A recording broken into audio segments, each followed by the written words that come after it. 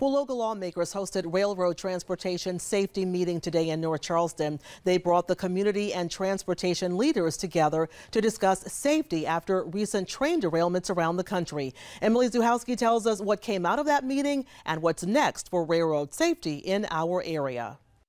The Charleston County area has many railroads that run through it. And after that railroad disaster in Ohio, State Representative Wendell Gilliard wants to make sure that our community never has to experience anything like it. We decided to take action. Leaders from DHEC, CSX, Transportation, Palmetto Railways, and community leaders came to North Charleston City Hall today to educate each other about railway operations and how to prevent serious rail incidents in the Low Country. Representative Wendell Gilliard of Charleston County says the meeting was about being proactive and it was overall very positive. The meeting comes after Representative King of Lexington introduced a bill last month in the House that would require railroad corporations to start networking networking with local, state, and federal governments about operations, safety, and training. Gilliard says the railroad leaders today made a commitment to come before both caucuses in Columbia and do a presentation that pertains to safety of rail shipments. I think people need to understand uh, in many of these counties here in, this, in the state of South Carolina, especially here in Charleston County and in my district,